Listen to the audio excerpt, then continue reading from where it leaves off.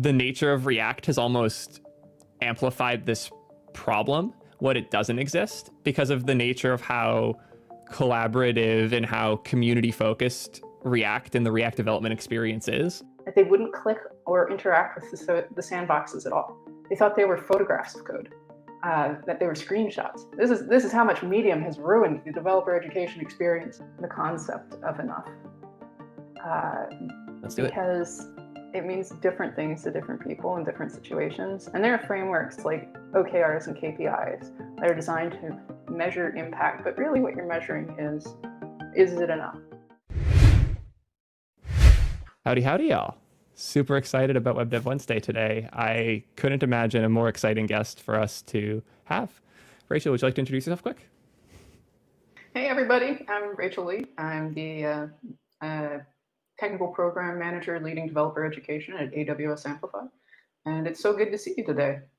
Fantastic to have you, Rachel. For those who have been here for a bit, the one thing you know about me is I really love the new React documentation. I've went on a handful of rants about it on stream, on Twitter, and all over the place. I think it's a phenomenal example of the types of resources that really help developers get started on the right foot and get to the get into the habit of loops that make them love development way earlier in their careers. And it was so exciting to start chatting with you, Rachel, and to get to have you on the show. So, first and foremost, thank you so much for being here. Thank you so much for all the hard work you did at Meta.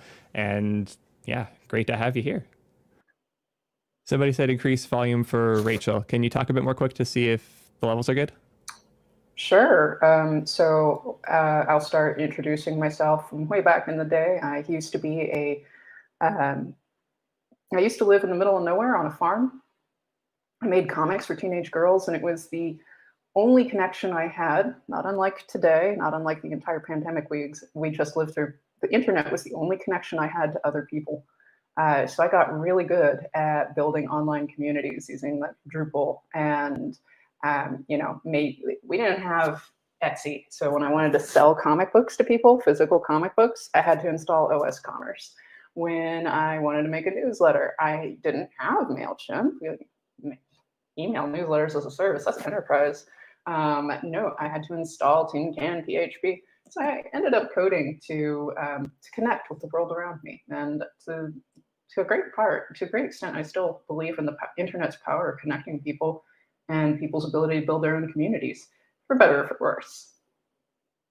Think we're good now. I can, I can keep yeah. ad living. Your background like, is super interesting, and like, I almost want to say it's like the Tumblr-ish version of what I did, where it, I did the same but with Minecraft. where I oh. wanted to play Minecraft with my oh. friends. All my friends were very mean, so I needed ways to keep them from breaking my stuff and I also had to learn how to code enough to build our website, which I did in WordPress. So I had like the WordPress website for the server. I had plugins I built in Java to sync that with our server, and I had to learn a bunch about Git and SSH and like remote server management just to keep the server up and to roll back the destruction that my friends would wreak on us. So it very similar in the sense that like I needed this thing to do with my friends. For me, it was because I had an injury, so I couldn't skateboard as much and ski as much as I used to, and that was the only thing I really had was playing Minecraft with my friends. And it's crazy how that like it's almost like the limit from the outside of like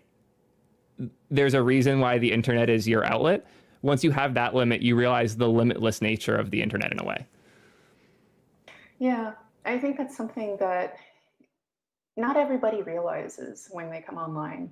I mean, I remember there was this, I'm probably one of the like last number people in, of my generation who can remember the transition between not having internet and having the internet because it took so long to come to rural American mountain towns. Like we were just within the last two miles of the uh, uh, of the last relay station for the telephone company, and if we'd just been a little further off, the signal wouldn't have reached us. So it finally climbed up the mountain. And I remember it was like one day I was wandering around in the forest, and the next day I was on the doorstep of the world, and it was night and day. And you really, it, it it's powerful to have that moment when you realize how connected you are, and you don't really take it for granted. You're like, oh my god, I'm here. I could do anything anything at all. And and that's the that's kind of a glorious thing. Absolutely. I remember in skateboarding when I was like trying to learn tricks that nobody where I was from knew because I saw them in a Tony Hawk game, but they were weird, obscure tricks from the 80s and no one knew how those worked anymore.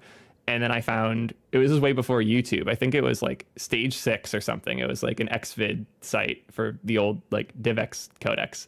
And there was various tutorials from older freestyle skateboarders that they just filmed on VHS, ripped and put online in terrible quality. And when I realized that this treasure trove of I can learn any trick on my skateboard just by searching the right words in this weird terminal and scrolling through enough pages. That realization got me hooked so early. And it's crazy how, like, that's just the default now in a way.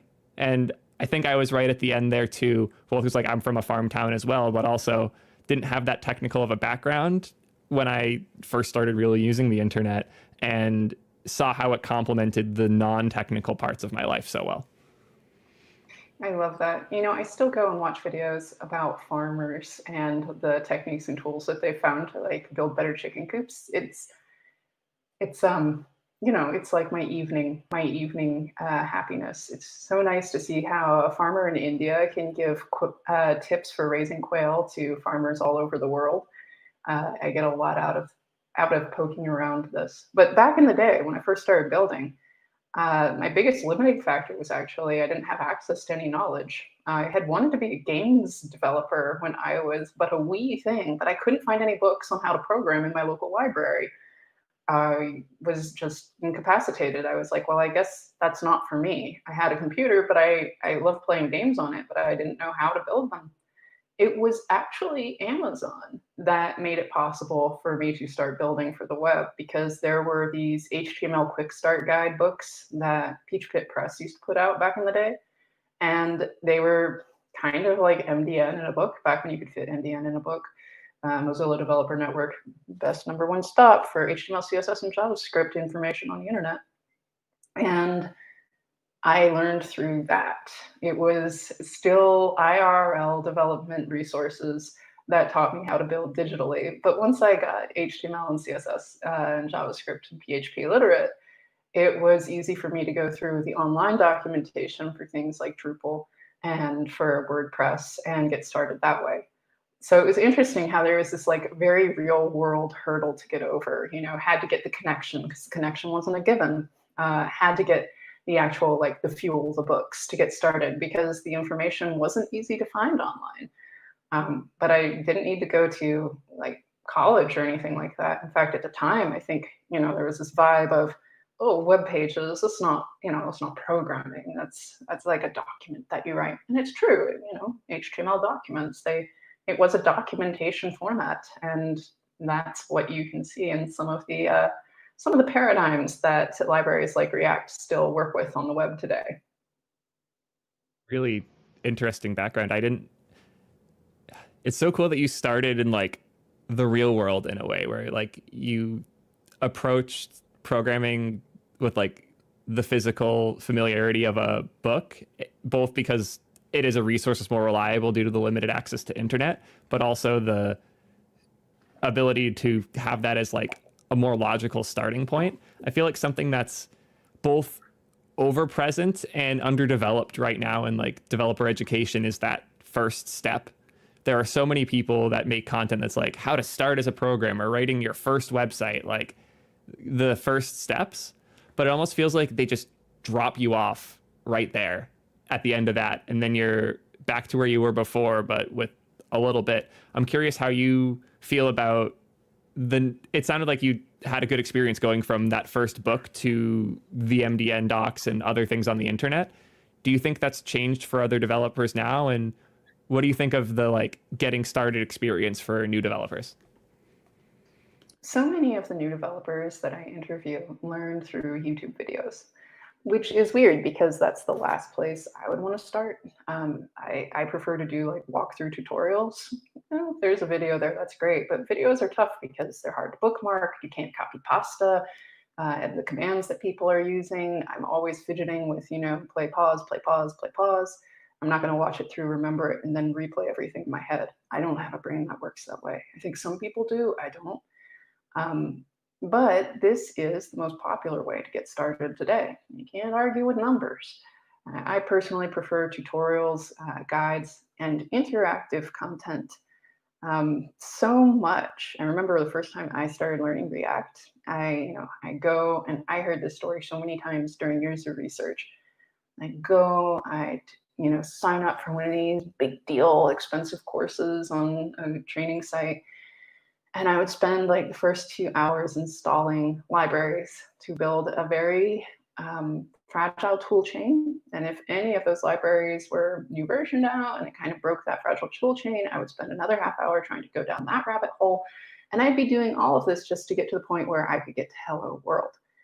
And it was so demoralizing. I could never remember anything about React by the time I'd slogged my way through the first couple of features. I, uh, you know, I was so tired. It turns out that the, the principles of something like React are actually fairly straightforward. The problem is getting to the point where you can learn it. And often you'd find that it's easier to learn React when you're onboarding to a team and there's an existing superstructure that you're functioning in and you're just writing the markup there in JSX and you figure out, oh, this is how state is. You're not like, do I want to install XState?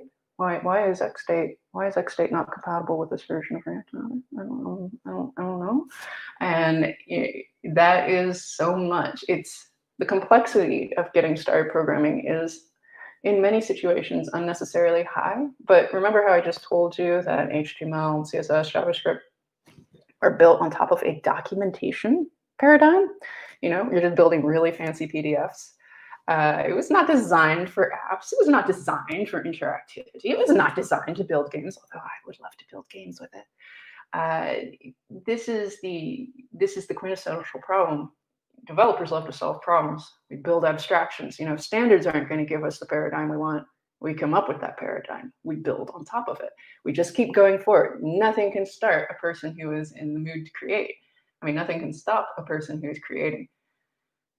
The problem with building layer and layer of abstractions is then the people who are coming up from behind you are like, what is this? How do I activate this? How do I do what you do?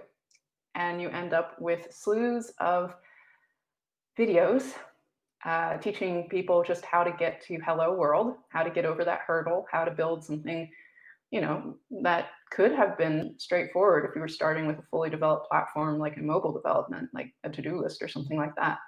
But you have to like now you get React, now you get state, now you get and where do you want to host it? Oh my God, so many decisions so many decisions. It's not like you unbundle a zip file on a PHP server and you go set some configuration somewhere and suddenly you have an interactive version of MySpace.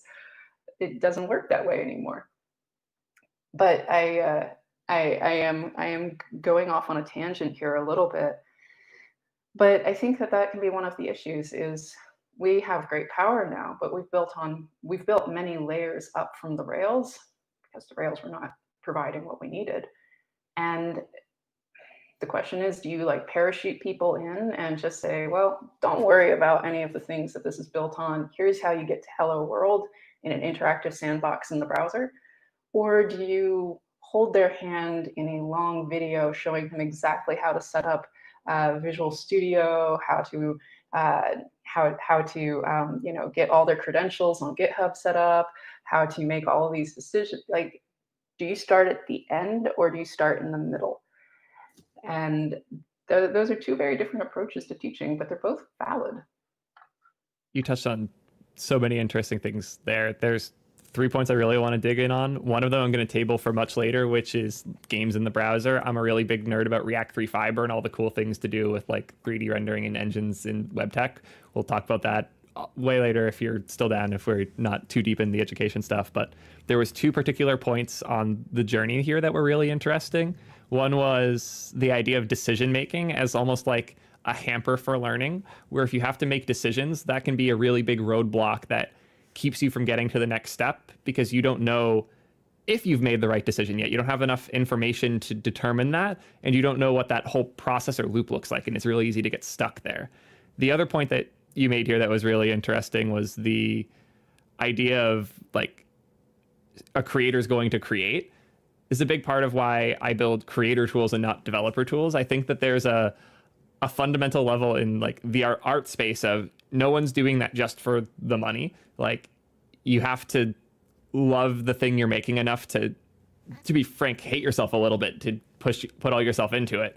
And in engineering that definitely exists, but I don't feel like it's the default in quite the same way. But if you are one of those people that has something tech unlocks for you, like code gets you this thing you care about, you will create this thing, regardless of if the tech helps you. That is one of the best ways to become successful, especially early on. So those are like the two really interesting pieces I wanted to dig on more. Either one more interesting for you? Man, um, those are both really exciting. Which one are you more pulled toward? I'm not, which is why I asked. the decision making thing is so interesting. And it's something I definitely noticed in my time at Twitch in particular, but also now like running things at Ping. It's very apparent that good developers get stuck in decision making hell when they should be building or learning in other ways. Like spending weeks trying to pick between Zustand, Jotai, Re- Redux, MobX, and XState does not help you in your first three months of building web apps. And it doesn't. Yeah.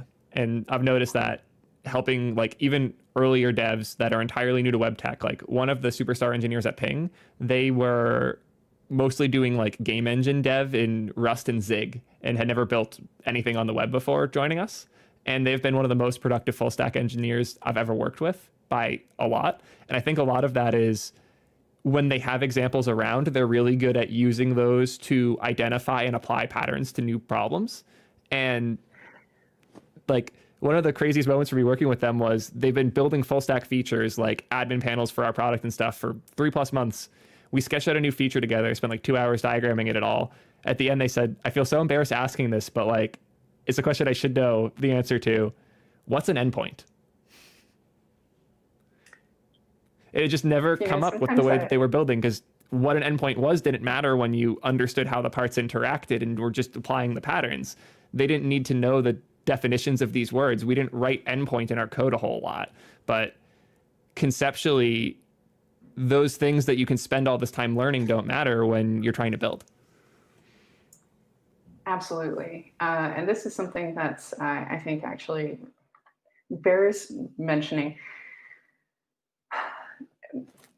You mentioned deci- decision fatigue, and decision fatigue is not the right, the it's not the thing that a, uh, a learner needs at that stage. They should be focusing all their energy on retaining and drilling content.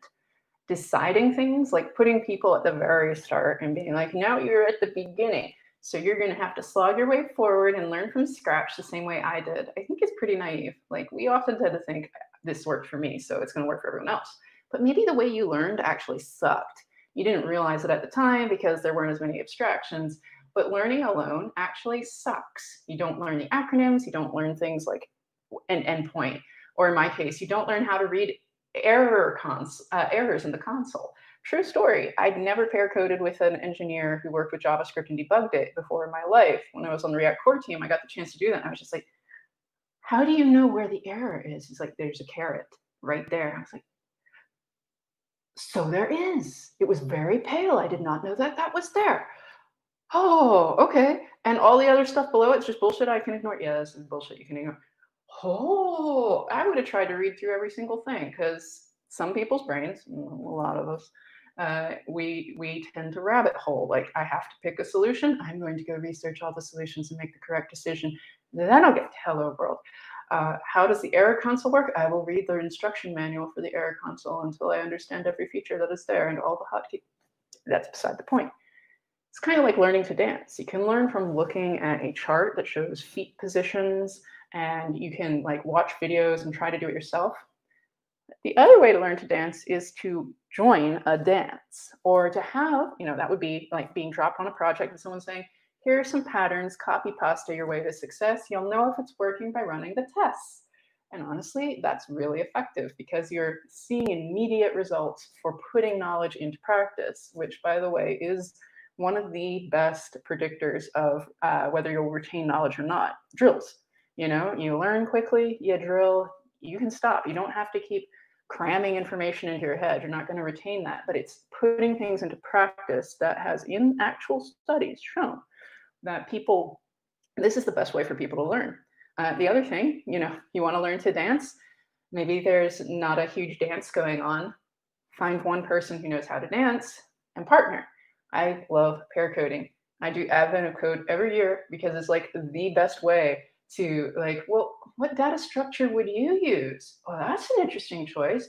Oh, I never would have thought of doing it that way. And how are you reading that error? yeah, I uh, so Advent of Code's a huge thing here too. We are all huge fans of that. Sorry for interrupting. It's so much fun. Yeah, I'm addicted. I absolutely love it. We get really competitive. I am planning on making a big community thing this year, and I'm hyped for it. Uh, one thing you touched on there that's something I've been thinking a lot about because I'm I'm seeing it from a different angle as like a, a senior content creator.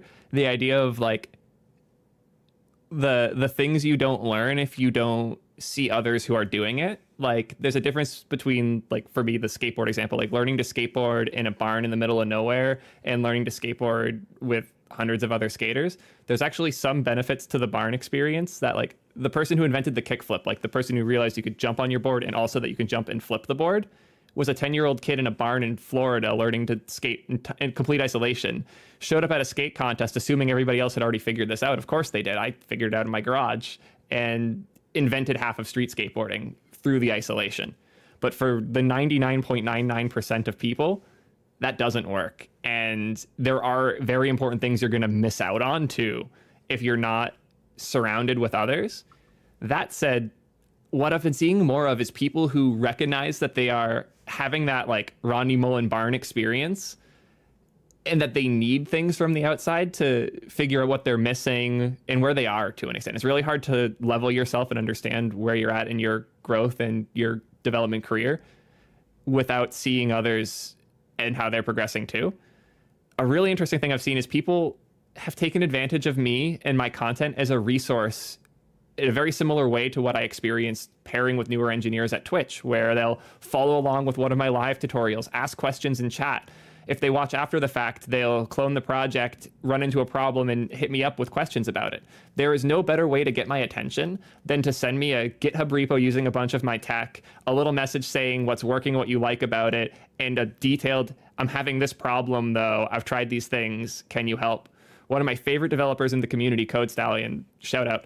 He's a developer from South Africa that's been self taught for a bit now fell in love with a stack that I used in one of my YouTube videos and actually made the best blog post on how to assemble these parts that exists out there right now because he had so many problems getting them to play nice that he wanted to make a better resource and used me both to as a resource to get through the hard parts there to level himself and understand where he was and then make more resources to help others too. And it was really cool to see all of those pieces of growth in that one interaction and I think that that's the strength of video, in particular live video.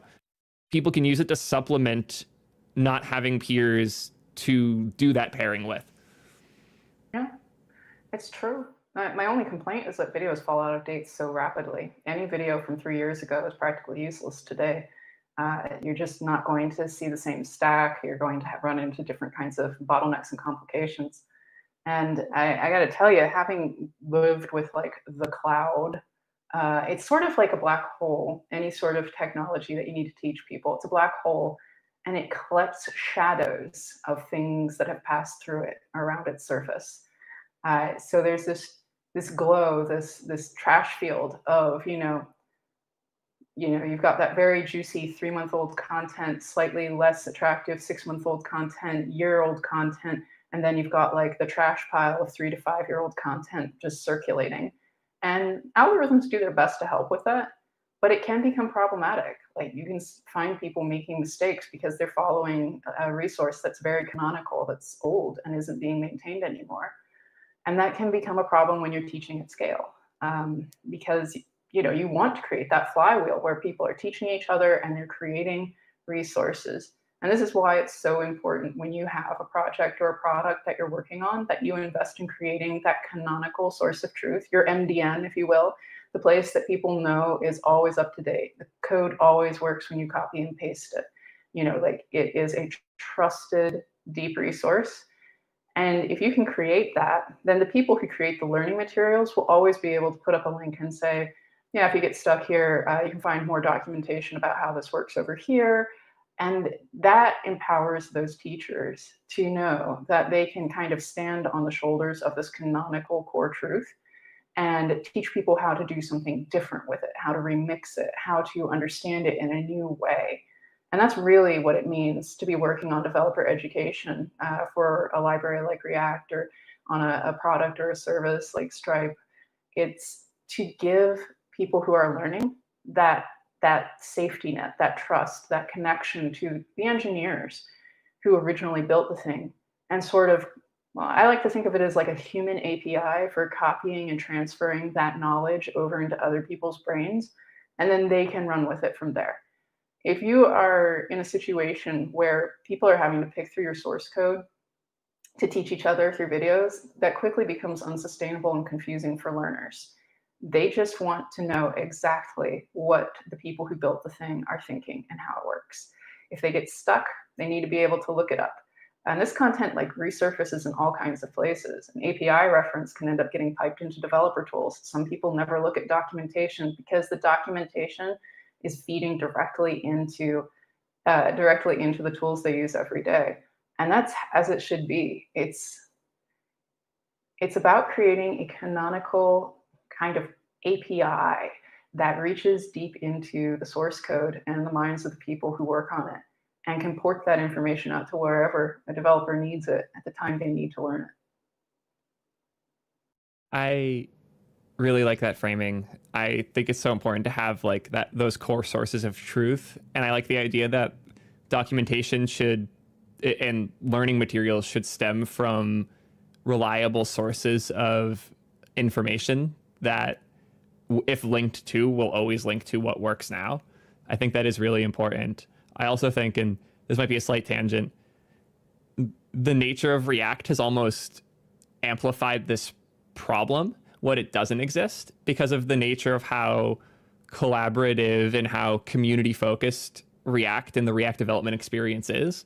Like when you're building an Angular app, you install Angular. When you're building a Vue app, you install Vue and whatever their recommended Vue library is. When you install React, who knows what else is coming with it? That's not a flaw in React. I actually think it's one of the biggest strengths in it.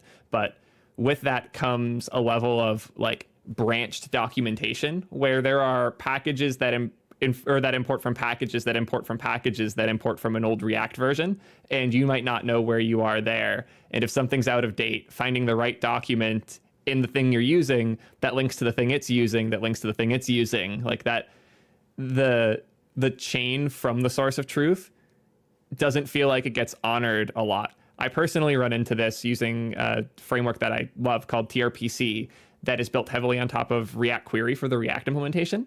And developers in my community often run into the problem of I don't know which of these two docs to go to. Well, which of these three even? When I'm running into this problem, do I go to the TRPC documentation for the full stack implementation? Do I go to the React query documentation for how I'm actually using that in React? Or do I go to the React documentation directly? And that confusion really sucks. It does. And this is, I mean, it's both the open source dream, which was, you know, look, you can install a stack that's being dictated to you by a corporation, a bunch of opinionated architects somewhere, who knows. Or, or you can take just what you need and build a stack that perfectly solves your problem in a way that you feel strongly about. Uh, that is a nightmare for a learner, but it can actually be really powerful for somebody who's building a solution and knows what they want and they need. It's great for mid-level, terrible for beginner. I think what was interesting with React is that you're seeing so many people like you have to learn React because so many opinionated pipelines have been built with React. So many, you know, corporate infrastructures is like they're using a bunch of homebrew and React and you can't learn about all the things surrounding React from the React documentation. And that is something that is beyond the scope of a open source documentation product uh, project to solve for. It would be great if you know you could solve. You know, they explain the intricacies of implementing every routing library with React in one place. but that would require coordinating with like N project owners. And if you've ever tried to coordinate an open source, yeah, so it, it, it is a mixed bag. But on the other hand, you know, uh, it also means that things move quickly and the community has been able to evolve and iterate solutions faster than a core development team could. So I don't know. You just you have to get nimble at learning. And with the documentation project at React, which you can go check out at beta.reactjs.org, it's the best way to learn React today.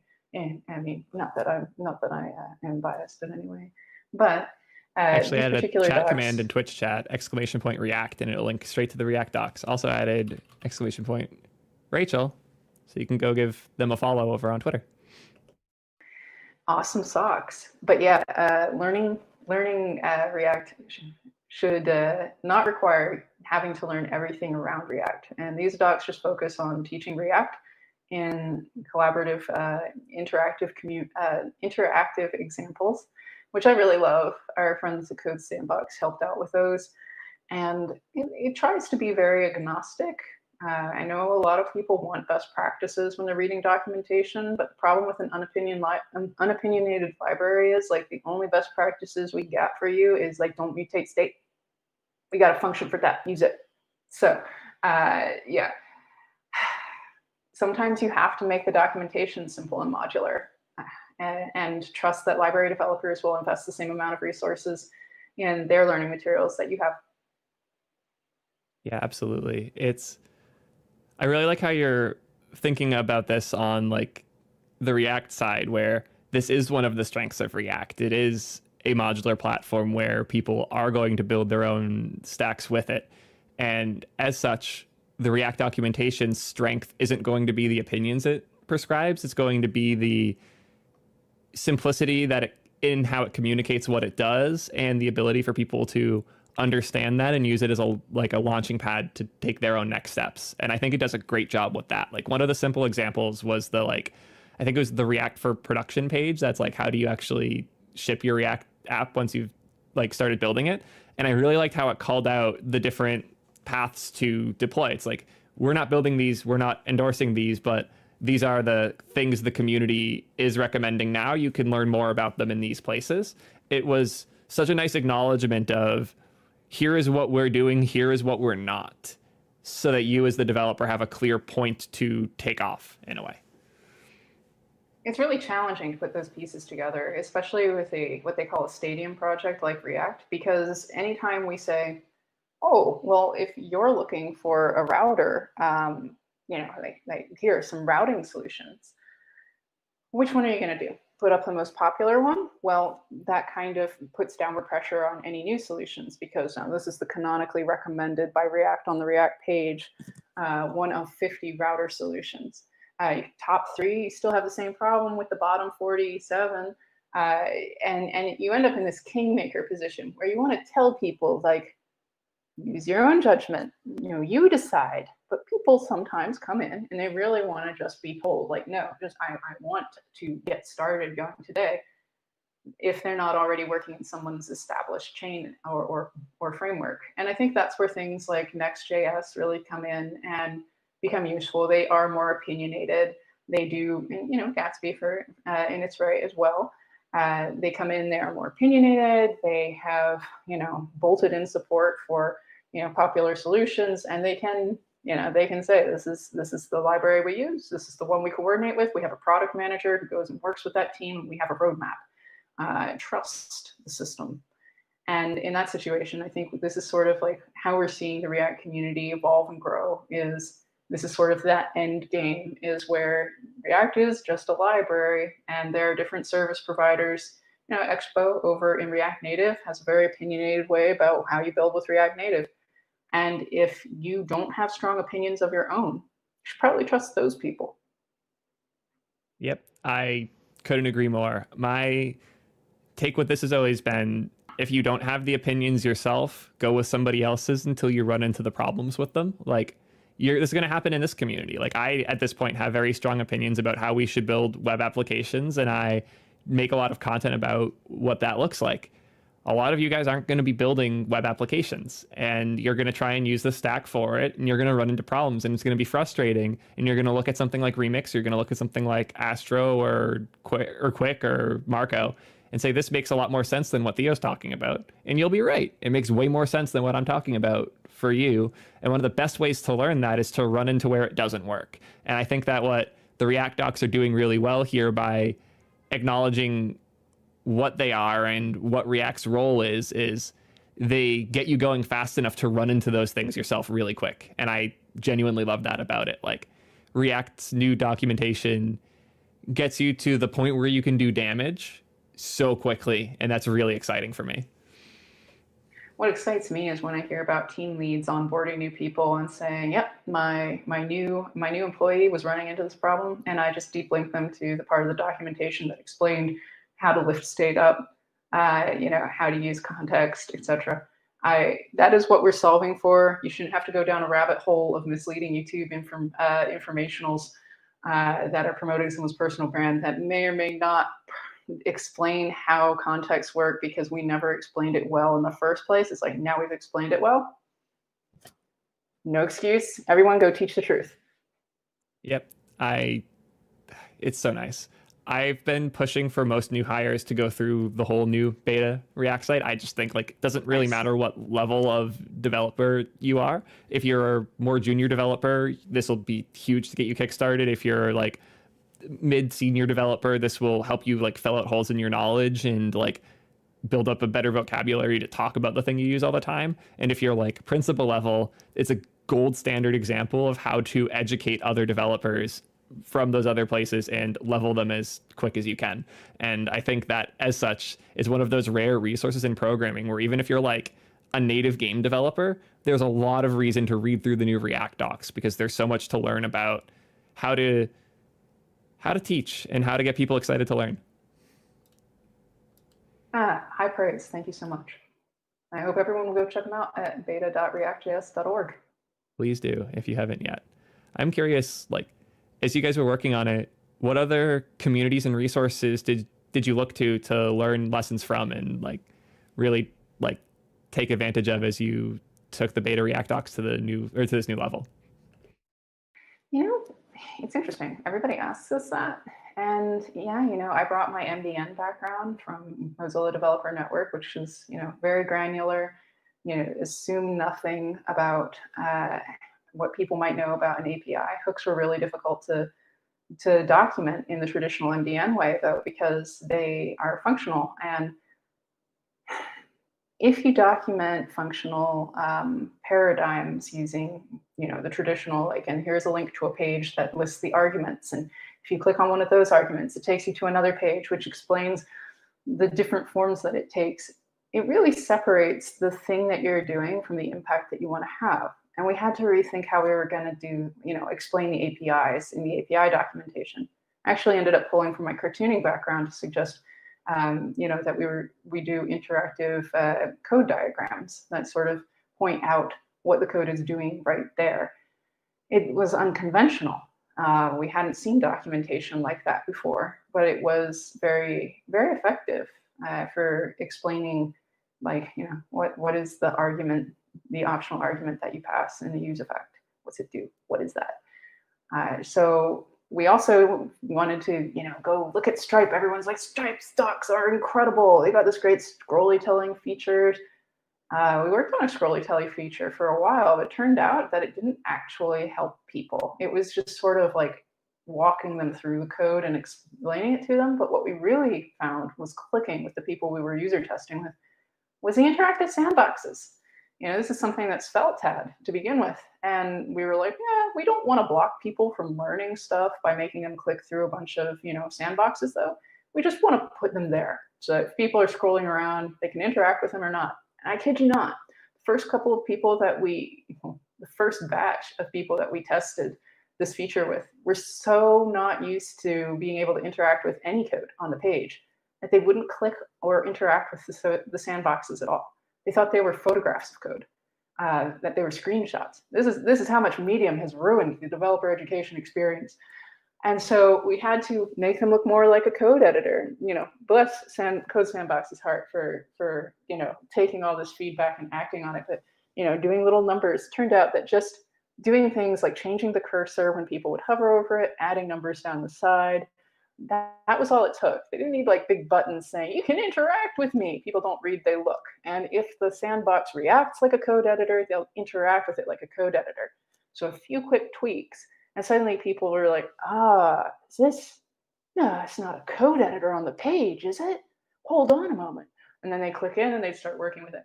So I'd love to tell you that we took a lot of inspiration from a lot of pre-existing work, but it was more like we were finding what was working for the users and then we were acting on that. And we had to we had to invent some new modalities, especially around the API documentation, because it just hadn't been done before there's so much really inspiring documentation out there. I wish we could have just picked up and run with more of what people had already done. It would have it would have made the development time for the documentation a lot faster.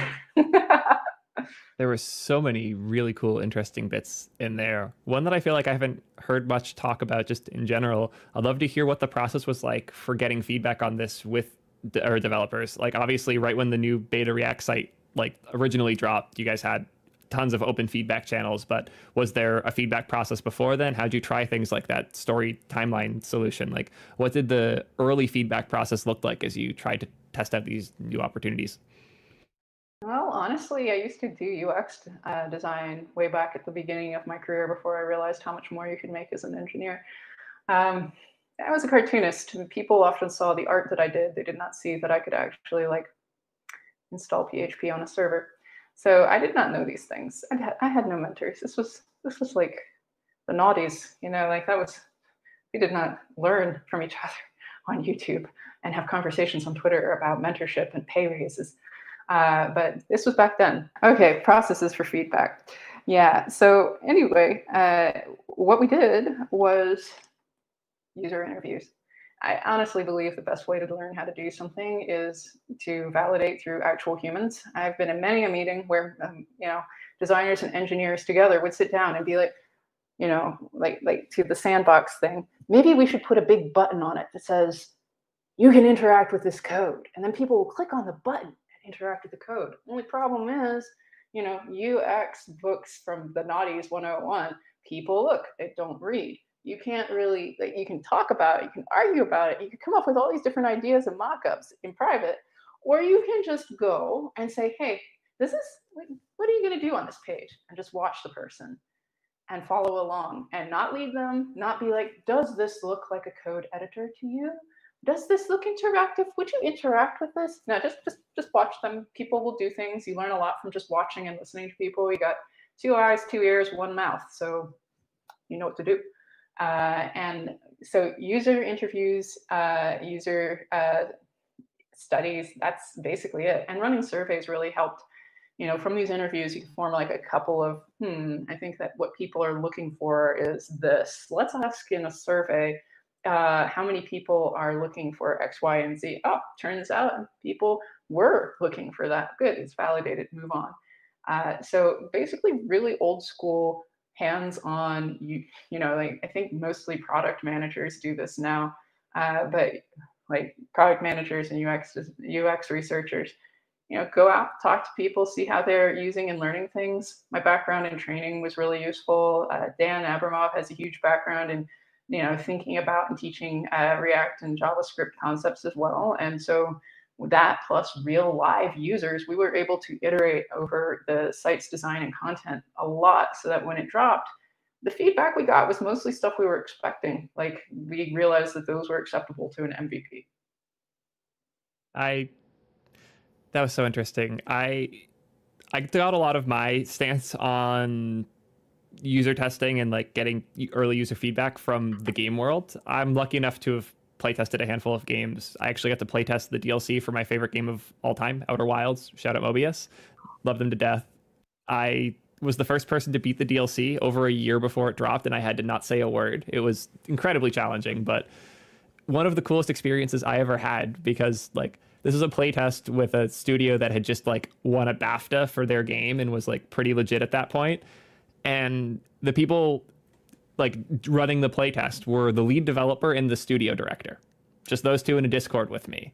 and the uh, it was so cool how, how they let like they let me screw up and you could feel them feeling the pain of watching me struggle through things but they would hold themselves back until there was a point where they could like get something themselves from it and they would jump in to like ask questions rather than lead. And i feel like even in my experience doing user interviews with like product people before there was a lot more leading than there was in that particular game uh, test. And since then i've always felt much more in the direction of what you were describing here of you just got to watch ask questions and let them struggle because you're not going to be there for every user you know, you could say the same thing about managing too. Like you can tell people what to do. You can create. I feel you on this. I remember back when I used to make comics. I used to take my comics because uh, after you've, I would write them, I would draw them, I would ink them, I would color them, I would put them and letter them and put them on the line. By the time I got to the end of my pipeline, I was like, "Is this is this funny?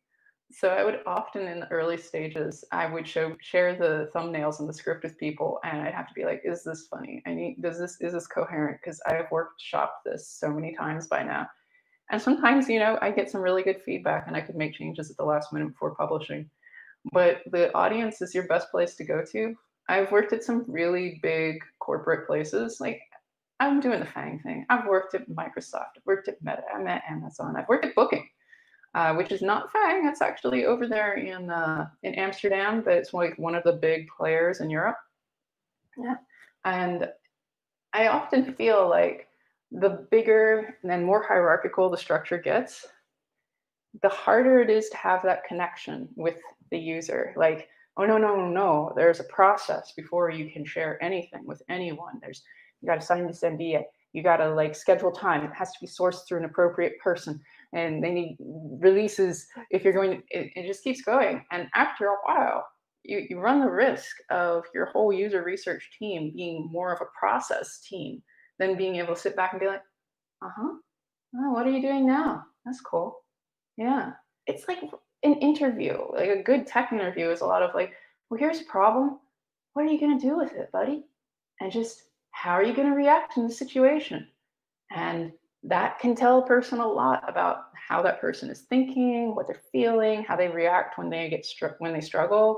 If somebody rage quits, people are way more patient with React, for instance, than other things because they have to learn React. React is the ticket to six-figure salary. You have to learn it. It's your job.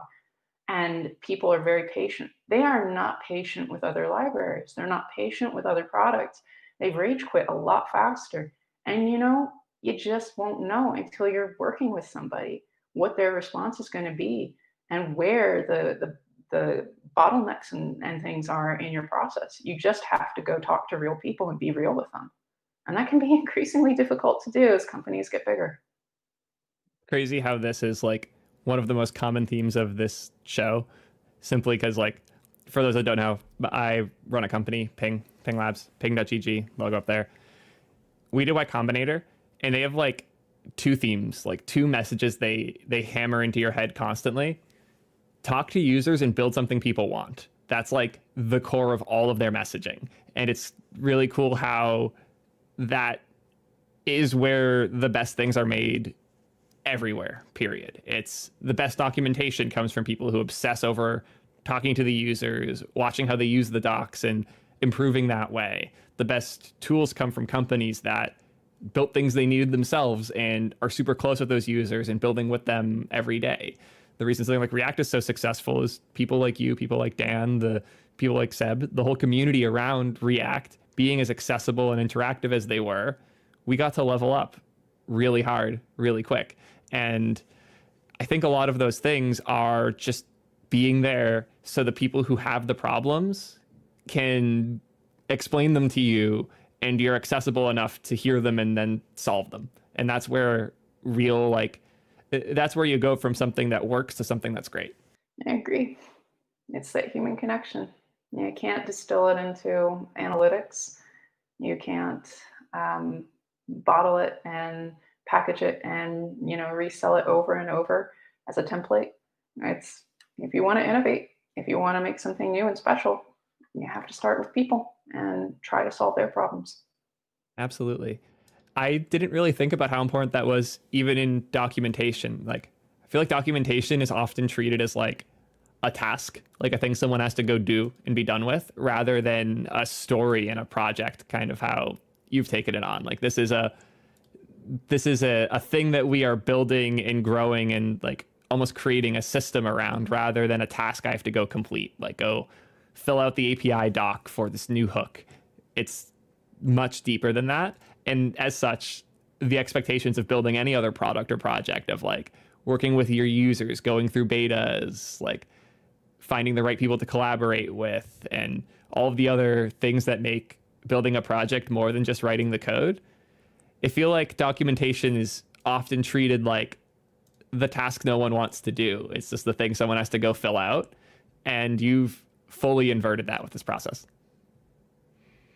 You know, it's funny. I work with some people who are really passionate about documentation. I think a lot of people want to put documentation first. They want to teach others. They want to share that knowledge. But it's hard to know how. It's not easy. Um, you can automatically generate documentation from your code, but if you're not good at communicating, what do you put there? We focus so hard on building these de- these dedicated technical skills. We lose the soft human side of our personality, and that means you know if you can't communicate, you lose a lot of what it means to be human. And documentation is hard because it requires you to be really, really human and to cast aside all your assumptions and all the things that you lean on, all your personal crutches and the framework that holds you upright every day, and to reach out to another person's mind as though you are both fresh and new to this world. And that's very, very difficult. I really like that framing. It I hadn't thought of it that way before. The documentation is the translation layer between the tech and the human. It's the thing that does the communication for both sides in a way. And it's when you think of it that way, like obviously the docs need to be as human as possible, but I don't think I've ever thought that way before. You know, it's not just the docs. I mentioned how a lot of APIs to VS Code are generated from the same things that back documentation. It's actually that layer of, I mean, I want to like strip aside our definition of documentation here because documentation, like, it's becoming an increasingly outmoded reference uh, point for teaching people. Like, yeah, you need a place where people can look up the definitions of things, but people do that in their developer tools now. People are, it's likely to start typing something in VS Code and use autocomplete. And then they might not know, wait, what, what is the type for this? And they hover over it and, you know, it, it, it tells them what it is. And that content usually comes from the same place that the documentation comes from. There is this core uh, bundle of information that as developers, as engineers of things that people will use, we have to really think carefully about how we make it accessible to as many people as possible and how we're communicating the things that we put out into this world. Uh, if you can do that well and you truly have something revolutionary, you can change the face of the world. But if you make something that really could change the world, but you're terrible at communicating it, it you know, does a tree falling in a forest with no one around really make a sound? I've watched many technically great solutions or technically important ideas fall short because they're not communicated in a way that humans can understand. I mean, just look at some of the problems facing us environmentally on this planet. Um, if these issues were communicated better and had less noise and interference from outside sources, maybe we as people would understand our situation and know what to do about it. Absolutely. There is so much noise to filter through, and it's incredibly difficult, even for a newer developer. One thing I want to push there the idea of the like something that's technically great, but the communication isn't there, and it doesn't have the revolutionary impact it could otherwise. I think I've even seen the opposite where something technically wasn't there, but the communication ability was. And through that, they were able to get it there technically and get to that revolutionary point. Like, if you have the communication, you can power through the other parts that are missing. So I'm going to bring this up, but Lovelace and Babbage, we could have had the computer revolution like 100 years earlier than we did. But um, Babbage was this guy working on the thinking machine. Back, it was very steampunk, just like a computer built with nothing but tiny little Swiss gears. And uh, Ada Lovelace was like his interpreter who wrote a lot of things. But this guy had no social skills. He just kept pissing off the people who were funding the project. And at one point, she could not repair the damage he had done to their chief governmental financier. And he died having never completed the project. You see, it, the, the British government couldn't look at his work and appreciate it. So he was almost entirely relying on Ada being the person who could communicate its value, communicate his his genius. She was a genius in her own right because she could actually communicate that shit to people who did not care and saw him as being a finicky little nerd working on something. I don't know what it would do. And she's like, no, it will change the world. You cannot starve this man's genius. And it it's sad because here's a situation where communication just, you know, it held humanity back for a hundred years.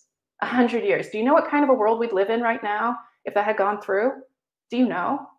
I don't we think anyone hit could. it before we hit our fossil fuel cap. Like, holy crap, it would change That's- things. Oh, didn't think of it in terms of like against global warming, how impactful that could have been. Yeah, that would have been. Damn. Or just like we would have achieved a lot of scaling technology earlier, or you know, like change the face of empires. It would be a complete alternate universe. Who knows what would have happened? We would have had more resources to do the uh, technological advances we're pulling off earlier. So, um, who knows? We're we're running with what we've got. These sort of things happen throughout history. You know, the Antikythera machine that was dug up uh, from back in the ancient era, it never took off either. So who knows? But speaking of technologically met solutions taking off and the really great ones getting lost, well, you can look at like Nikola Tesla as an example of someone who was making technologically brilliant things, but didn't have the marketing suave uh, as his greatest competitor, uh, Edison. And we ended up with a lot of less than ideal solutions because Edison was just a better salesman and was better, you know, going out and doing road shows and talking to people and convincing them of the, the greatness of the thing that he was working on. And you can kind of see that in some of our solutions. Like I loved less CSS and Sass CSS. Sass was the technically superior solution. Could do more, solve more problems.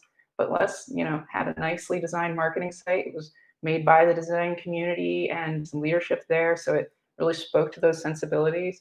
And you know, Sass had a long way to go to make up for that, and it did. It did eventually. It did eventually become the tool of choice.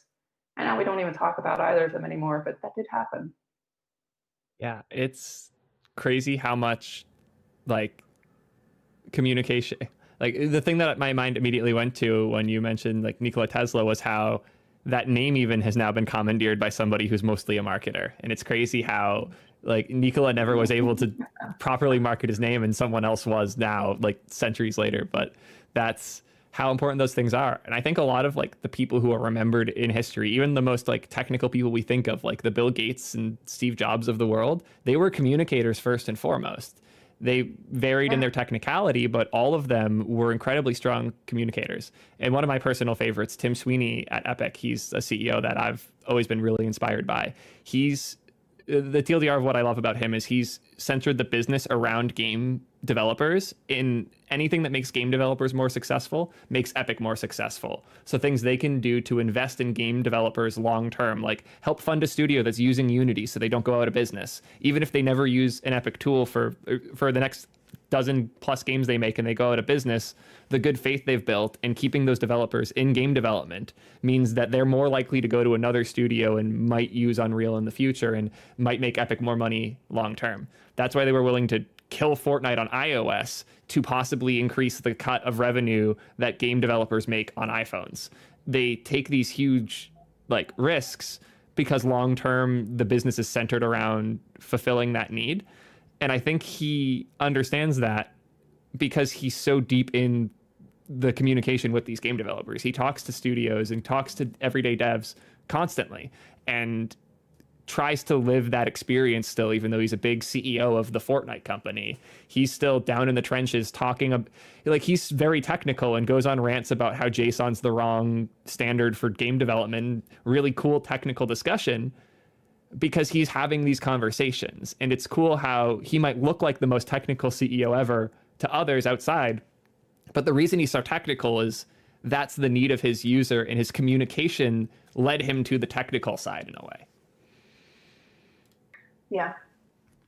I think it's great to see leaders that do take that customer centric approach um, and do invest in their communities, not as a source of income, but as an ecosystem that has to be cultivated. And various flywheels that may not be running right now, but they can act as a store of power that can keep the community going through hard times later. Absolutely. Speaking of hard times, growth, and our favorite word, enough, I want to pivot into this fun conversation. All right. Are you ready? Yeah, I think so. This will be an interesting one. This was for context for everyone else. Rachel and I have had some very philosophical DM conversations around like growth, leadership, impact, diversity, and all these things. And one topic we kept getting back to was this idea of enough. Like, what is what does enough mean to you in almost any of these things? So, to start to go with what we've been talking about this whole time, like growth and developer success, what does enough mean for a developer in their work? And how do you think about this yourself? I think first we got to back it up and talk about the concept of enough. Uh, Let's do because it. it means different things to different people in different situations. And there are frameworks like OKRs and KPIs that are designed to measure impact, but really what you're measuring is is it enough? Was this effort enough to get the result uh, that we were looking for? And I was raised on a farm. So I have all kinds of not enoughs in my life. You know, not enough uh, connection to other people because it was a very lonely and isolated upbringing um, not enough money. I was very poor. Uh, not enough time in the life that I have because there's so much that I wanted to do. And as I continue to level up in my life, I am able to do more things. But no matter how many things that I do, it's never enough. I never feel like I can stop. And I meet a lot of people, uh, young people, even old people, people from all kinds of backgrounds and they don't always know what enough is. We live in a culture in the United States that's like, you want to get rich, you want to get famous. What's famous enough? You know, like, is it enough to be an award winning cartoonist in a comic book uh, industry? Or do you want to be like the award winning director of a movie based on your comics? You know, like, hang on a moment. Movies is a very small industry. What if you want an award winning game based on your stories that you're telling? There you go. Is that enough? Or do you need to be like Elon Musk? Is being Elon Musk enough? Uh, and if you don't know what enough is to you, you end up on a hedonic treadmill where you're always chasing enough. And you can chase yourself to exhaustion, chase yourself to burnout, ruin yourself, ruin your life because you did not know when to quit. You did not know this is enough. This is good for me. I'm going to go. You can end up in a dead end job. You can end up with a skill set you don't love anymore if you don't know when to call it. Uh, what do you think, Theo? How do you know when to call things in your life? What's enough to yeah. you? This is why this was such an interesting conversation for me. I didn't really ever think in terms of enough before. I would occasionally think in terms of not enough when something wasn't meeting like my goals or expectations, but for me, I think in terms of growth and opportunity more than like specific points. Like I'm to an extent, I'm always thinking in the future of where can I be and how can I get there. Not even in the sense that it's like I constantly want to be getting closer to that like super Elon Musk figure or whatever, but in I want to feel like I'm making progress in some way. And it can be different things. Like if I'm not getting a lot done at work, enough goes from what I'm contributing at the office to my skateboard. And I'll just go skateboard for six hours straight and learn a new trick or do something no one's ever done before. And that power is enough for me more often than not. And I guess for me, enough is the satisfaction of feeling like I did something meaningful. And what meaningful is changes regularly for me, but enough is a, a satisfaction rather than a level for me, which is why this was so interesting. And I find that interesting. I've seen so many people I know, and I've been this person. Like, all right, I have a friend, and they were happy at their job. They were feeling like they were on their their march to whatever. They they were like, yeah, my manager supports me. I feel like they're developing me. I might have reports, you know, I'm on that that career path here. I'm on the thing that makes me happy. And then a recruiter slides into their emails and offers them a role that aligns more with their personal value, does nothing else to get them further in the direction of that career ladder goal. But suddenly their whole world is thrown up in, in the air because what if that's enough? Aren't I supposed to be living towards my values? Um, and I've had similar things happen with other people where they're they were trucking along uh, and they they realized that they wanted to make a little bit more money to support their family, and then they had to choose between different opportunities of vastly differing incomes, and they couldn't tell which was enough. Do I want the extra money for my family? Is that enough? Or do I want the thing that aligns with my passions? Is that enough? And they cannot weigh because they never sat down and defined what their price was. You know, what is the bar that I'm trying to meet? And if you don't have those things, if you don't know, you know, like, yeah, I'm not going to take less than $8 per chicken, auction house thinking. Um, you know, like, this is the price that I came in wanting, and you're going to give it to me, or I'm leaving with these birds. If you don't have that price, you can end up accepting anything. You can end up not being able to resolve disputes between two people who both want your birds, and they're offering you different lots uh, without that framework, you can just end up on bended knee to other people and their whims and not being in charge of your life and your decisions, but rather letting other people make those decisions for you and force your hand.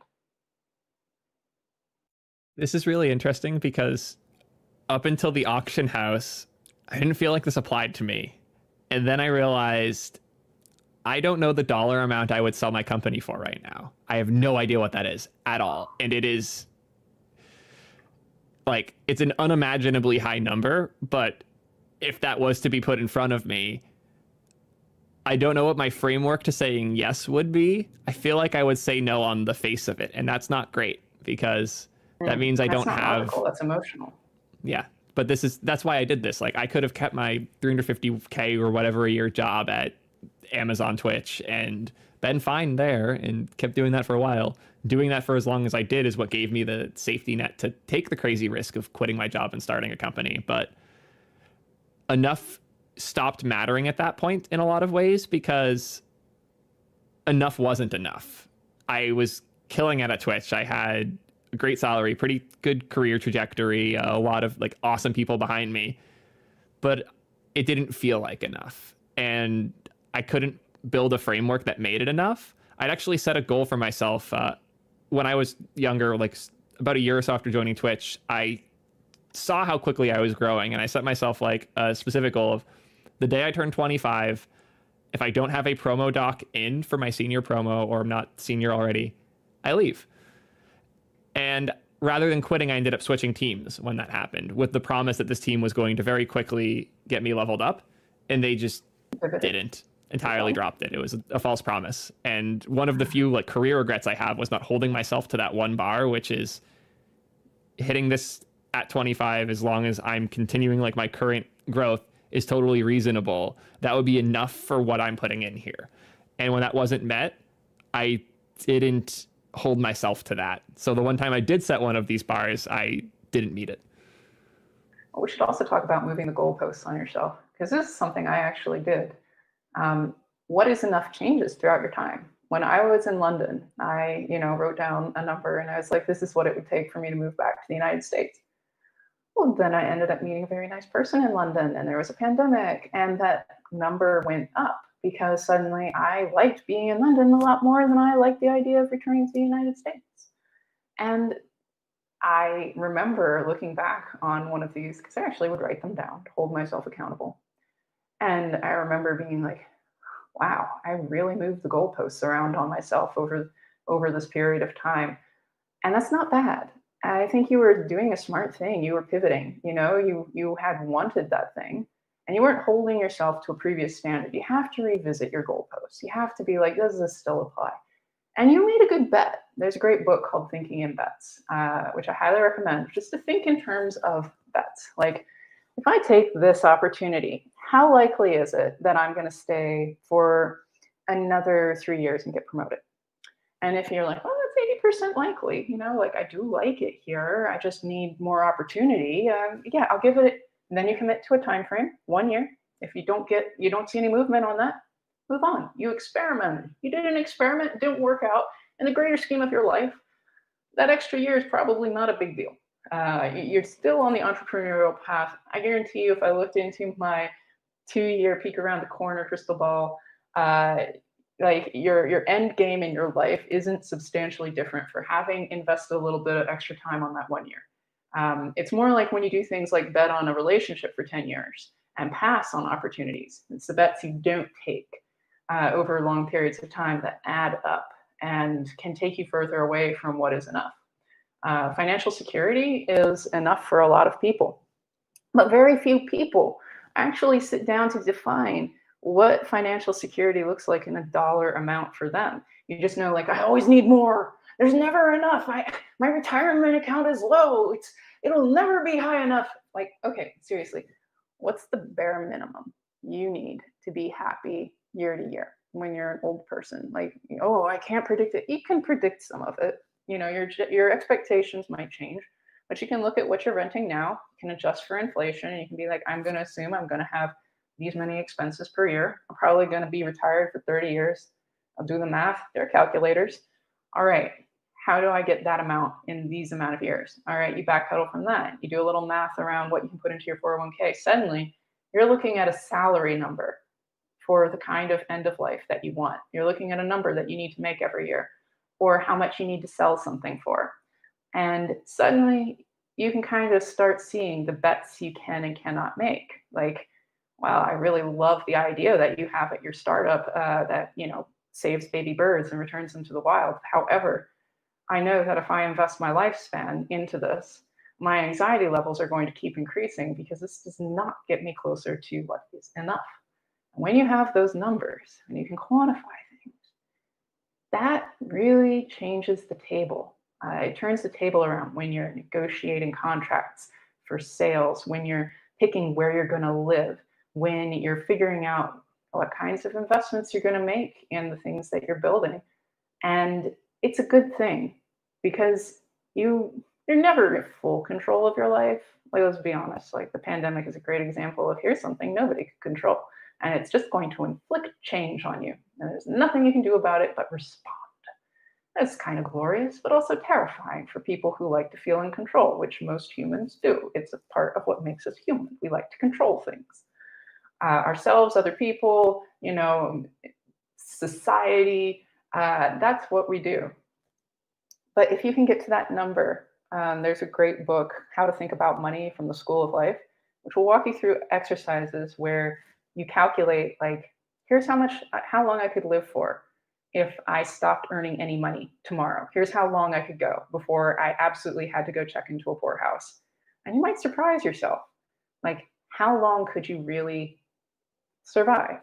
And it can put your fears into perspective, your fears of losing control, of the wild unknown that could meet you if you just aren't enough at any point, if you don't invest in all the right skills, you don't take the right opportunities, you know.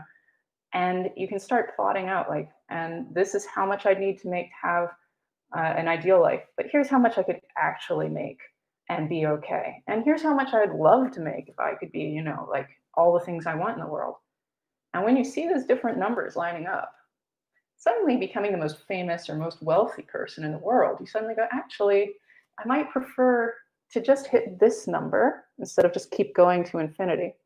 Uh, hit this number and just spend that time with my family or and move off grid and live on a tropical island. And then you're thinking reasonably. Now you're really in the driver's seat because you're starting to make predictions and bets about outcomes instead of letting your fears drive. People in the chat are already buying the book, so very excited. I hope they like it. yeah, I'm excited for them, and I will definitely get somebody to give me a summary because I do not have the time to read a book right now. But this is very interesting, and it's weird how much my brain is like pushing back on all of this. And to be frank, I don't think it applies to me where I am right now due to decisions I've made consciously. But like, I'm trying to think the right way to, to frame this because I know there's a lot of other entrepreneurs in the community that are copying what I'm doing and it might not be the right thing for them. And this is a really good opportunity for them to think what what is enough for them. Because what I realized for me is money wasn't enough. I was making crazy money and I could be making crazy more without much effort. I could start phoning it in. And I even tried. There was a point at Twitch where I was like, okay, I can't do this. I'm not having the impact I should be. There's too much red tape. There's not enough opportunity for me to help the people I want to help here. I'm going to phone it in and work on some things on the side. I couldn't do it. I, I was physically incapable of like going to the meetings and just sitting there muted and smiling as people made terrible recommendations and built the wrong thing that would make the experience worse for our users. I didn't, it, it wasn't enough. And no amount of money would have made that enough for me. And what I realized was enough was the feeling of constantly helping the people I I cared about. And Twitch had not provided that for me and I didn't see any way a company could. And for me the entrepreneur journey is not like how big or successful can I be? Even like this stream right now, I'm doing all of this. I run this channel. I have guests like you on so I can better understand the creator experience so I can make the content and the production of that content better for everyone on the internet. Like the future, Web3 isn't technology. The, the true third web is video content and interactivity. And I care so much about that and making it a better experience that nothing else was going to be enough. And as such, I threw away what was quickly on its way to a half million a year salary to eat ramen and build fun web tech. And I think that's something that people think they want, but they don't know if they do. And they might even convince themselves they want it when they don't. But for me, it was hard to not to not do this. I didn't want want to do this. I got to an extent bullied into it. Ping was a side project and it was coworkers from Twitch and friends and people I was close with pushing me to do this because they saw that I wanted it more than I even did. And I think it's easy to, on both sides, convince yourself you want to be an entrepreneur when you really want to be content.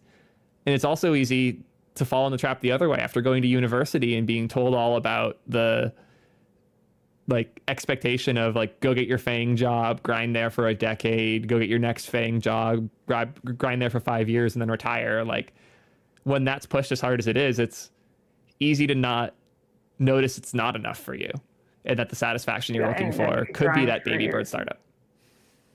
I, I was just going to say, I never knew that you could get FAANG jobs. I remember the moment I found out you can make six figure jobs. I was like, wait, what? Where? Well, no one told me this. I did some entrepreneurial stuff back in the day, and I hear you, you know, and I think this gets back to bets. There's times in your life that are really good for making bets, usually when you're younger, because you got time is the one commodity ain't nobody selling and you can invest your personal time however you want. And maybe, like, remember the people who, you know, made it big, who sculpted the fabric of society that we have today, were people who took big bets young. You know, like um, the, the Google founders. These these were bets that were made young. They didn't graduate from college and were like, I think I'll get a stable job. I mean, maybe there was some thinking about that. But there's also windows of that opportunity, like right after a really amazing new technological keystone has been invented, like people who start that journey at that time, who were young then, are going to really succeed more in changing the face of, of humanity than people who start when you know we're going through a bit of a, a plateau in terms of innovation. Yeah you're just you're, you're doing fit and polish there for the human experience. Uh, so i hear you and i don't think that there's anything wrong with making those bets when I was uh, younger, before I knew what you could get paid at big companies, I didn't like working at startups. I worked at a couple. I didn't feel respected, didn't feel like my ideas were welcome. Uh, it was a really boring scene in the North Carolina. And I really love teaching people. And I love getting on stages and showing people cool demos of things I made with my comic skills and HTML and CSS and JavaScript. And I had opportunities to travel the world and teach people and get to know people, make friends, and see the world. I chose to do that for eight years. I mean, I look back and I'm like, you could have had a six figure job. You could have been putting that money in a 401k. You could be like, my retirement is taken care of right now. And what are you doing today? But the truth is, I didn't get to go live in London. I lived in Amsterdam. I formed these connections that will last a lifetime, and I truly value them. It was a good use of my life that my teenage self would have been proud of because you only get to go around this world once. You know, you only get one lifetime. And I'm glad that I spent it in the places that mattered to me.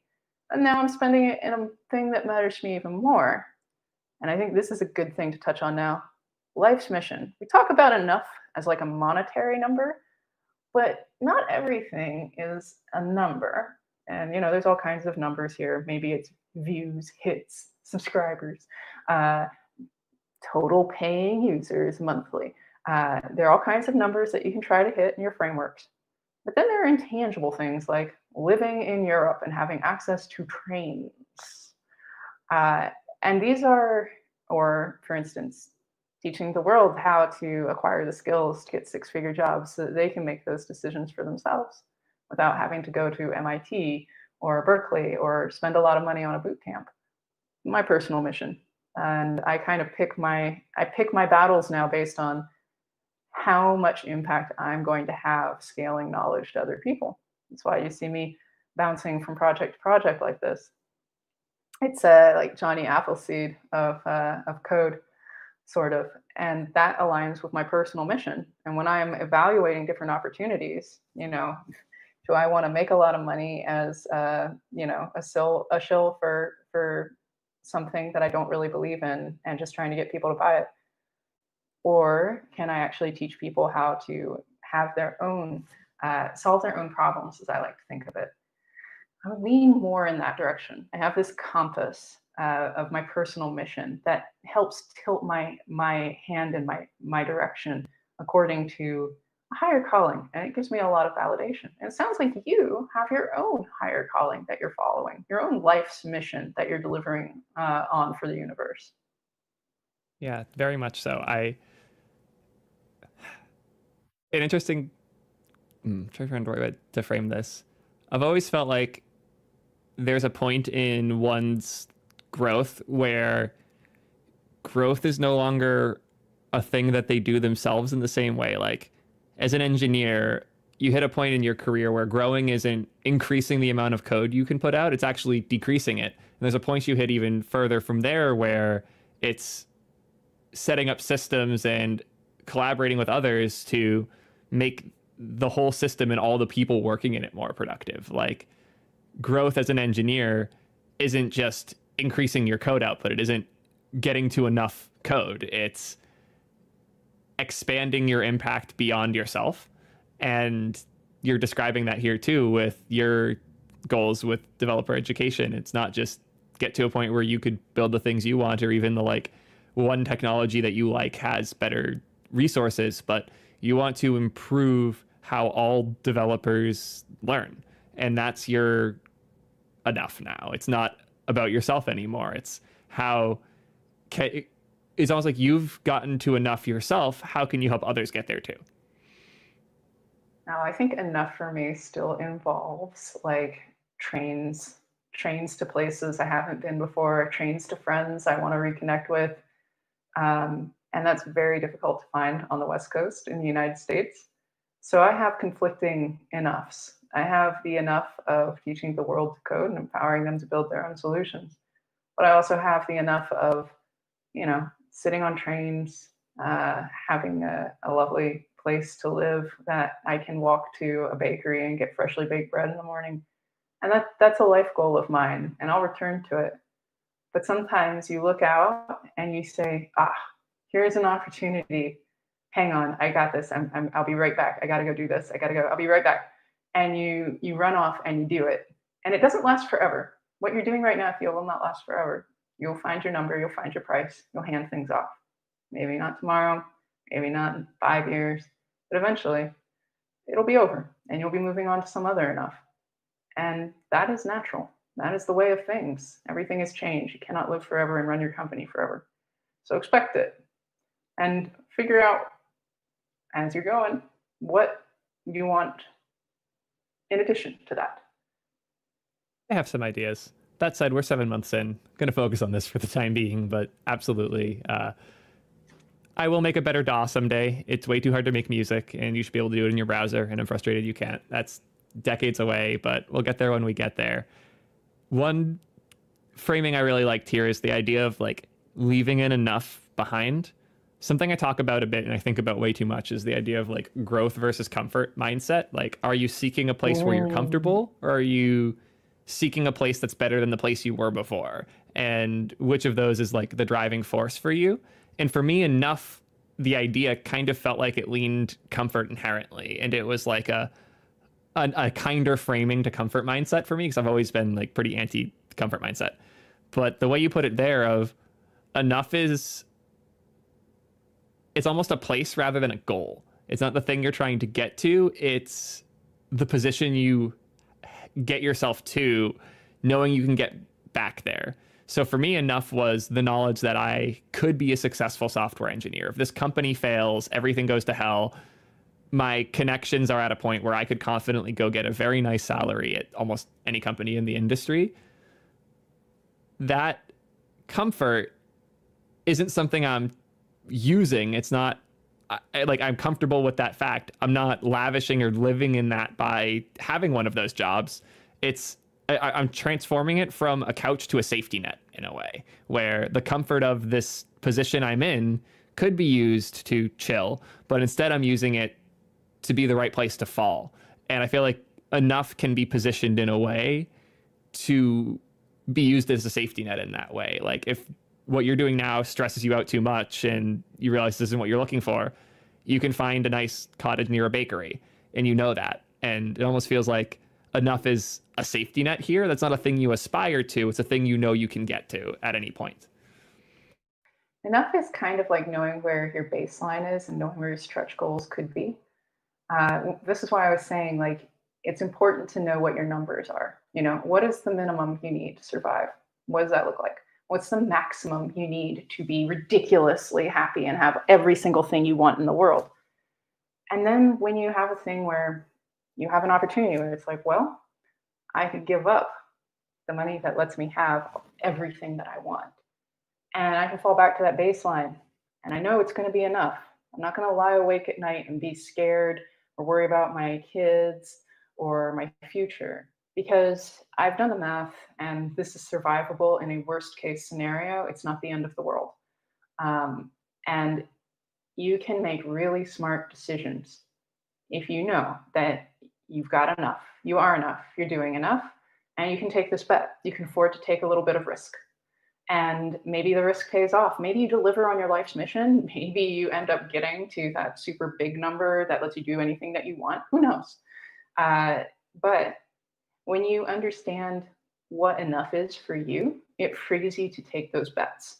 It frees you to understand when those bets are aren't paying off. If I were working on a project that wasn't helping people learn, it would not be meeting that next milestone for me of helping people learn. I would look at it and I'd be like, well, when I hold it up against my price for investing my time in this project, I can see that it's not enough. I'm going to have to make a different bet because in the last six months, this project has been unsuccessful and I gave it a six month timer. So I'm going to go find another way to deliver on my life's mission. And that gives you that framework but yeah, enough is that knowing you can continue onward and and not fail. You know, that horrible, horrible saying, what would you do if you knew you could not fail? When you know what enough is, you kind of do that.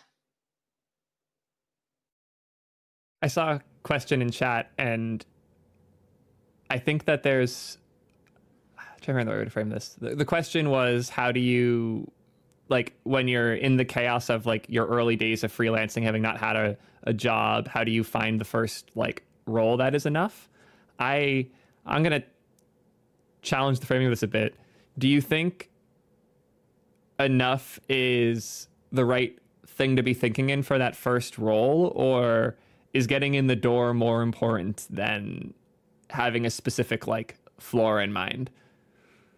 So the secretary problem is an excellent framework for thinking about this.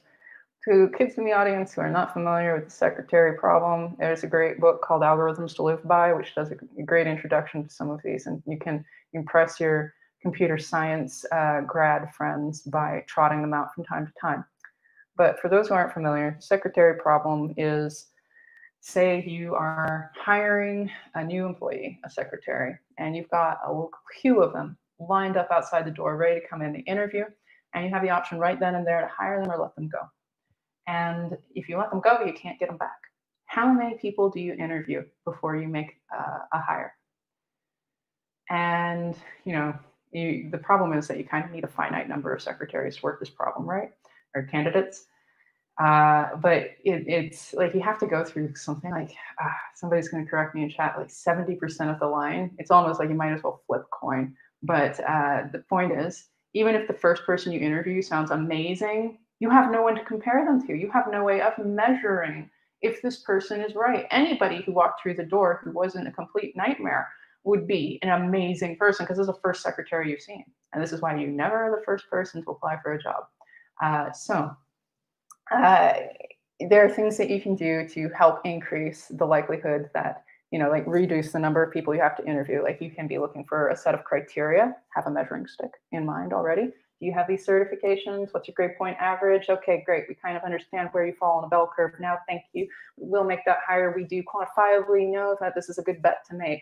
And it's unlikely to find anybody beyond this because uh, you're number 30 in the line. We're unlikely to find many people better than you in the rest of the queue. So cancel everything, you're hired. And this is kind of what it's like when you're just starting in your career. You're the person, and each one of these opportunities is the secretary. And you don't know if you want to hire this person or not, if you want to commit to this. The best thing you can do is adopt an experimental framework. You're a freelancer, your first gig came through, commit to about three to six months worth of time there and move on. No matter how good it is, move on to the next, do another one, do another one. Create the framework that brings more in the door. Get it from different sources, not just your one supplier always be working on people who are supplying you because you might find that your buddy from college gets you great like $100 an hour work but your buddy from grad school gets you $200 an hour work and you won't know that if you're just doing your college buddies work so keep that experimental mind do lots of rapid iterations don't commit early like don't marry the first person you date uh, you want to try many different things so that you have an idea of what is best in life. And then you can start saying, you know, as much as I like cash, I learn so much when I work with the people in R&D, or I really enjoy the feeling of being involved in a startup and I'd like to be a co-owner. So I'm going to continue in that direction. But you don't know unless you try it. And because our time is finite, experience is the most valuable thing you can take with you into the rest of your career. And it's a great time to start building that experience today. Couldn't agree more. I this is resonating with the community a lot. I don't know if you have chat open, but a handful of people are saying that this has been super helpful for them with where they're at now and figuring out what enough means as they level themselves up and start ch- taking on their first or possibly even their last roles for some of them. And it's yeah, I think this is an important conversation for a lot of us to have. And I know that I definitely haven't thought about this enough. I definitely don't think about enough enough. I think it's important. I mean, even if it's hypothetical, you don't have to hold yourself to any of the numbers that you write down, but it can help you see how you've changed your stance on things. Like, how much would it take for you to sell your project? The number you wrote down today is not the same one you're going to write down in two years. And that might surprise you. You might look back and be like, I can't believe I thought it was worth that. And I just sold it for so much more. And we're doing such amazing things now. I really underestimated this idea. Or you might have a different opinion. But by recording that, your sense of valuation, your sense of risk can really mature and finesse and cause you to be a more shrewd person who can get to that life mission faster and deliver on it better. Absolutely. I I can't think of a better place to end this, honestly. As much as I want to go talk about crazy game dev tech stuff, this is this conversation is way more valuable than any nerdy tech stuff we can go into now. I have had you for over an hour and a half. Is there anything else you wanted to chat about that we didn't get to? Yeah, I have another piece of advice for people who are thinking about going into corporate work. And this is something that, um, you know, I'm actually new to working corporate jobs. I've only been doing this for like four or five years. It's very weird and different. But you might at one point think, yeah, I want a, a job job at a place where they have frameworks to measure if I am a success or not. At large FAANG companies, there's a trap that you, I don't know how many of people in your audience idealize the FAANG career path. How, how many of your viewership? Give me an estimate. I what do you think percentages?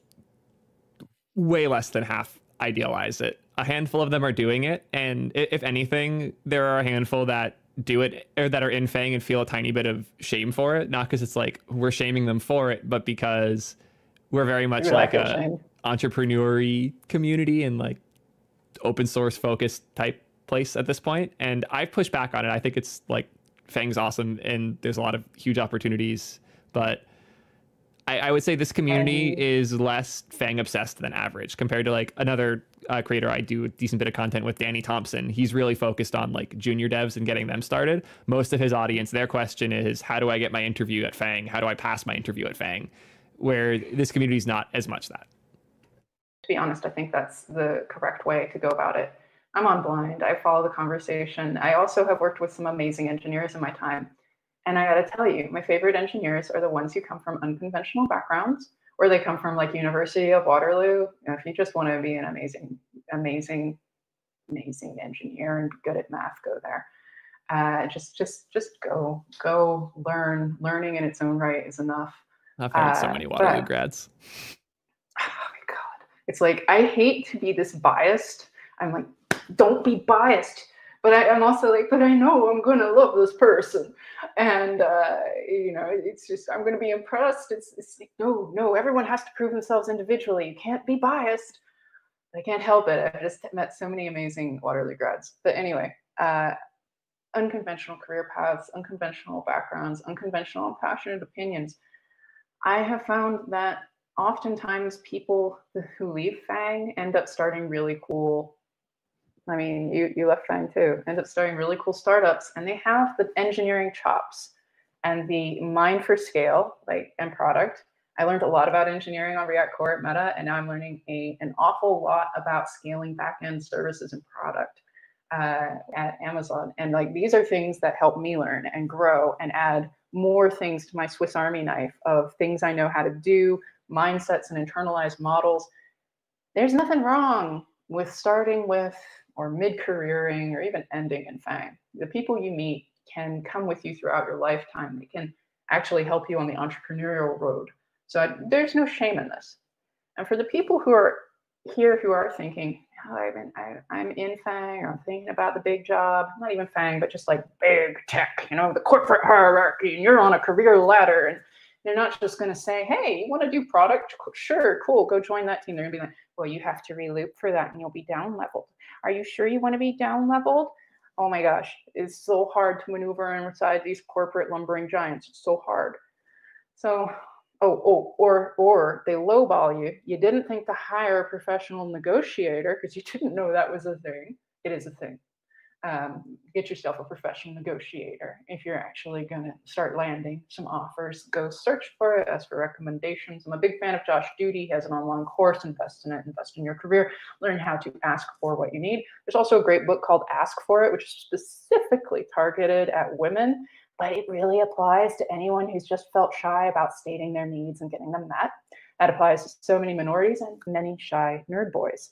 So it's a great book. Read it. It'll make you do things like awkwardly ask for discounts in stores where you'll never see those people again to get you used for ask, uh, get you used to asking for shit when you're not used to being a problem for anybody. Anyway, when you get inside these things, there are you're you're gonna be tempted to get on that hedonic treadmill. Oh, if you just deliver these things, you'll be up for promotion, maybe, if the stars align. You know what I'm talking about, Theo. I fell oh, for this so oh, hard. You just keep running on that treadmill. You can do it. We believe in you. Bring your whole self to work. You got this. You know, when you join, make sure you're appropriately leveled. Use levels.fyi. Use blind compare notes with other people, talk to them, share what you're making with one another. Really see if you can get that measuring stick uh, so that you're going into that secretary problem armed and you know, like, this is where I'm going to land. And if you hear yourself saying, but I'll prove myself when I'm in that role, stop. Nobody, like, the machine loves to get you when you don't know your worth. It loves to hang on to you like that uh, because you, you know, it's a good deal for them. They make a lot like that on that note in particular, so I have to jump in on that one. I've been on the other side of it. I have hired yeah. people that were lower lower level than they should have been hired in. The process as a manager to get them promoted and to like go to your managers and say, "Hey, we hired this person at the wrong level. We need to level them up." The response is, "Why? We got them." Like yeah, right. it sucks. It sucks so hard. And I've run into so many problems where we like on the safety team at Twitch, we hired Uh, I was the only male on the team, which was a really awesome, interesting experience. We had changed our hiring pipe entirely and added the rule that to hire someone new, we had to interview at least one marginalized candidate in the role before we made a hiring decision. And all of a sudden, all the teams were really diverse because the marginalized person with the same resume as the non marginalized person had to work so much harder. So they end up being better almost every time. So I ended up on a team where I was the only dude. And what I learned quickly was my role here is to shout at leadership because these girls are getting way more shit than they deserve because they're recent grads from random colleges and they're soft spoken and this is a company of like big like loud dudes mm-hmm. i have to use my role here to make sure they don't get left behind in the leveling system and it's so common that that happens, especially if you're hired in at the wrong level. One of the recommendations I make a lot, you touch on like the six month window. Do an interview every six months with somebody somewhere, even if you're totally happy with your job, just to have a number, a have the process, stay on top of things. Like you should be interviewing a ton. Every person in my community should fail at least one interview this year. I'll be disappointed in you if you don't. Every one of you. Sorry for the interruption. It means you're batting too low. You know, you're you're you're aiming too low. If you can keep, uh, if you're not failing any interviews, aim higher. Aim higher. You know, aim for the senior role. Aim for the and the manager role. Uh, I love that. That is great advice. And what you're saying is true. Once you're in the system, it's hard to do that. I make sure that I'm properly leveled. What is it? Properly leveled, properly compensated. Because the last thing you want to do is be halfway through delivering on this project that delivers for your life mission and suddenly find out oh my God, I'm not getting that raise that they promised me when I joined because I took less because I was so excited to be working with, you know, this product, these people, this thing that got stars in my eyes. Be selfish, put yourself first, make sure you're getting the best deal for you, because then you can just focus on delivering. You can focus on doing the thing that you came to do. You're not playing the promotion game. You can be completely customer focused. You can just focus on the good work and all the manipulative stuff that the machine might do to and also i got to tell you a lot of the stuff people do for promo actually isn't good for the customer. It, it ends up putting you know office politics ahead of team delivery. And so when you take all of that stuff the whole treadmill and the career ladder off the table and you just go in with the I'm going to do good work here for two or three years. If I do great work and you want to promote me and keep me, I expect you to do that. But I will be moving on to the next really cool project when I'm when I have delivered on the mission that I came here to do.